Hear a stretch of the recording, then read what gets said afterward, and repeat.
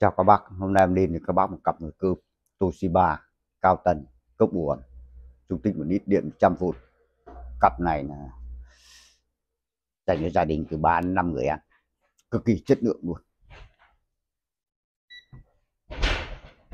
Chạy rất êm luôn. Đấu bình thường 52 phút.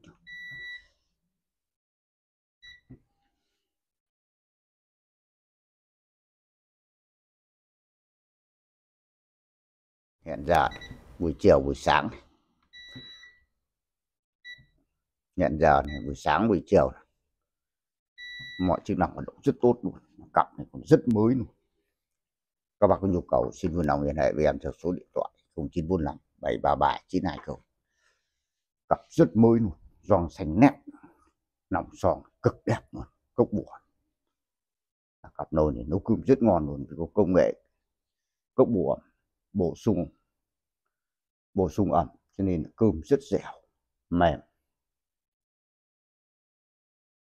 Cực kỳ chất lượng luôn, còn quá mới luôn.